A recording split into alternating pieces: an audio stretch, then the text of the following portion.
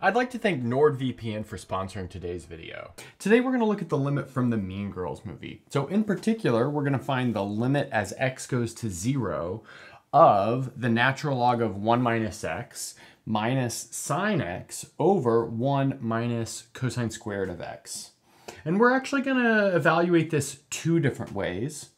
The first way will be using L'Hopital's rule and the notion of one-sided limits. And the second way will be by taking a Taylor or a Maclaurin expansion of the numerator and the denominator. Okay, so let's get into this first method. So maybe before we apply L'Hopital's rule, let's notice that this denominator, 1 minus cosine squared, can easily be written as sine squared using the Pythagorean trig identity. So that means we have the limit as x goes to 0, the natural log of 1 minus x minus sine of x over sine squared of x. And now if we like plug x equals 0 into the numerator and the denominator, you'll notice that in the numerator we get the natural log of 1 minus the sine of 0. Natural log of 1 is 0, sine of 0 is 0. And then in the denominator, we get the sine squared of zero, but that's also zero.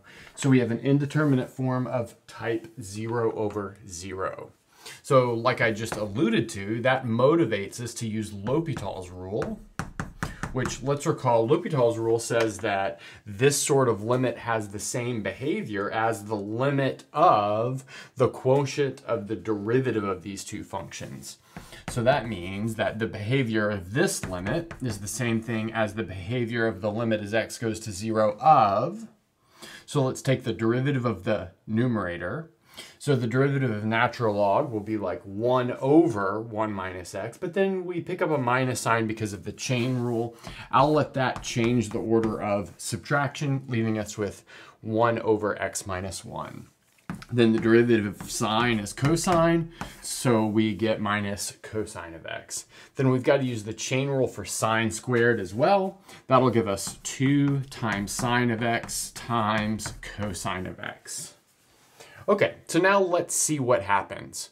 As x approaches 0 here, we get 1 over negative 1 minus 1, so that's negative 2 in the numerator. Then as x approaches 0 in the denominator, we get 2 times 0 times 1, so that'll be 0. So no longer do we have an indeterminate form.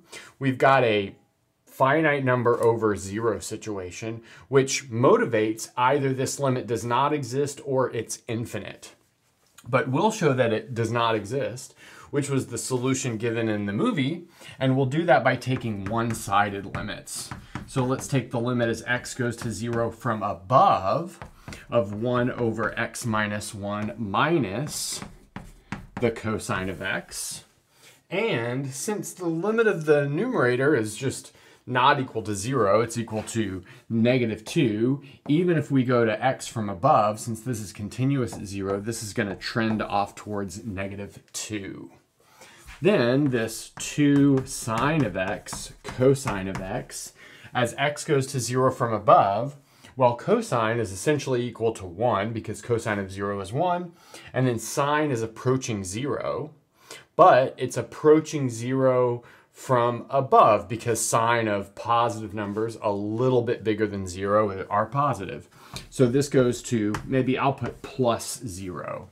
So since this goes to negative 2 over plus 0, that gives us motivation for this one-side limit to be negative infinity. Great. And now we can do the same sort of analysis on the other sided limit. So the limit as x goes to 0 from below of 1 over x minus 1 minus cos x over 2 sine of x cos x. So let's see, this numerator is still trending off towards negative 2, whereas now this denominator is trending off towards what I'll call negative 0. So what I mean by that is that it approaches 0, but the values of 0 it approaches along are all negative. That's because sine of something a little bit smaller than 0 is negative. But that means that this will approach positive infinity. So that means from one side, this limit approaches negative infinity. The other side approaches positive infinity, which says this limit does not exist. Okay, so now let's maybe sketch away real quickly how to do this using Taylor series. I travel quite a bit for conferences and research collaborations, and as such, I find myself using public Wi-Fi quite often. Using NordVPN puts my mind at ease knowing that I am protected from potential nefarious actors on the internet. NordVPN is super easy to use. You can have a zero click method or a one click method. You might say, well, a zero click method, that means I'm not doing anything. But in fact, there's an auto connect setup that you can do so that it's just always connected automatically. It's great. NordVPN also has 5,500 servers in 59 different countries. And you can choose which server to connect to. If you want faster speeds, you could connect to a close by server.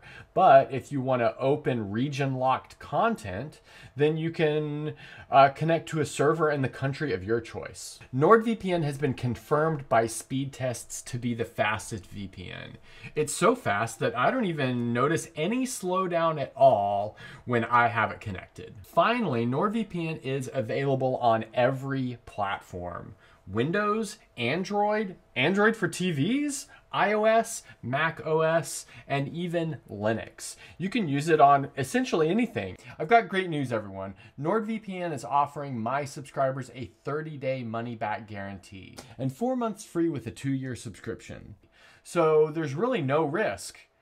Not like surfing the internet without a VPN. So go ahead and go over there right now and sign up at nordvpn.com slash michaelpenn. And now back to the video. So now we're gonna do a quick sketch, maybe not a careful solution, of the evaluation of this limit using Taylor series. And we'll kind of use the knowledge that the Taylor series for the natural log of 1 minus x has a certain form which is generally, generally taught in a calculus 2 class. Same with sine and, well, we'll work out sine squared as well. And I'll like skip that first step where we use the trigonometric identity. Okay, so this will give us the limit as x goes to zero of, so this is gonna be minus the sum as n goes from zero to infinity of x to the n plus one over n plus one. So that's the Taylor series for the natural log function just given that the Taylor series for 1 over 1 minus x, that's a geometric series, and then we take the antiderivative. And then from that, we subtract the sum as n goes from 0 up to infinity of, let's see, this is going to be minus 1 to the n, and then we have x to the 2n plus 1 over 2n plus 1 factorial. then in the denominator, we have the sum as n goes from 0 to infinity of the same thing, minus 1 to the n, and then x to the 2n plus 1 over 2n plus 1 factorial. And now here's where we're going to start playing it fast and loose. We're just going to take the first two terms from all of these expansions. So here we've got the limit as x goes to 0 of, so this will be negative x minus x squared over 2. So like I said, that's the first two terms from that expansion. And then we'll have minus x plus x cubed over 3 factorial, which is 6. So that's the first two terms from that expansion. And then downstairs, we'll have x minus x cubed over 6 quantity squared. So again, the first two terms there. Okay, so let's see how this simplifies.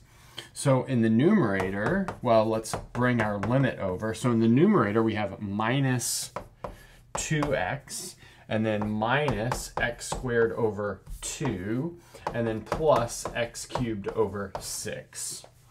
And then we can multiply out the denominator and give us x squared minus x to the fourth over 3.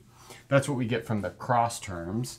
And then plus x to the 6 over 36. So something like that. And then from here we can factor an x out of the numerator and the denominator and cancel. That leaves us with the limit as x goes to 0 of negative 2 minus x over 2 plus x squared over 6 all over x minus x cubed over 3 plus x to the 6 or x to the 5 over 36. Now let's notice as x goes to 0, these guys in the numerator and the denominator won't really contribute anything because they're not like the leading terms in the numerator and the denominator, giving us the limit as x goes to 0 of negative 2 over x.